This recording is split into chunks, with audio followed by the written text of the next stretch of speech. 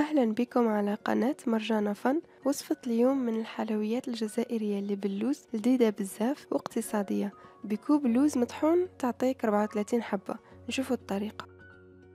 عندنا 250 غرام دقيق يعني كوبين. مع الفانيلا.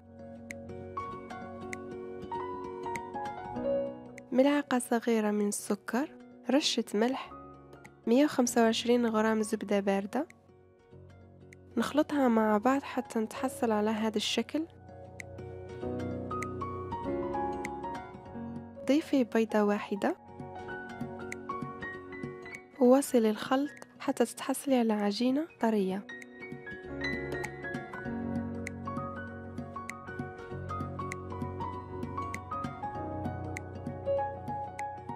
غلفيها وحطيها بالثلاجة ترتاح شوية. نحضر حشوة اللوز عندنا مية غرام زبدة طرية مع مية غرام سكر.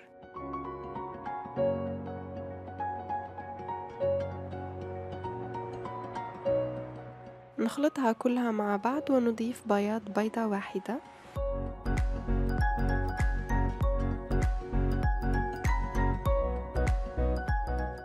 مع مية غرام لوز مطحون. واثنين ملاعق كبيرة من المايزينا أي من النشاء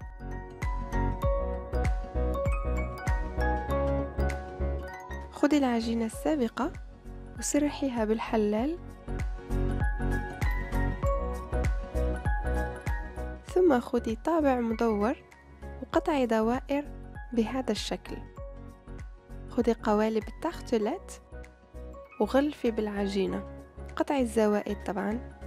أنا مدهنش القوالب لأن العجينة فيها زبدة لكن إذا خفتوا تلصق وحبيتوا تدهنوها عادي دهنوا القوالب لكم كل الاختيار. نحشي بحشوة اللوز ونزينها برقائق اللوز المحمصة.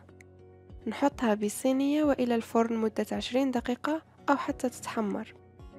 في الأخير بعد الطهي نلمعها بالجلي أو مربى المشمش ونزينها بالكرز. دائما تزيين حسب الرغبة والاختيار. وصفتنا جاهزة طرية وبنينة.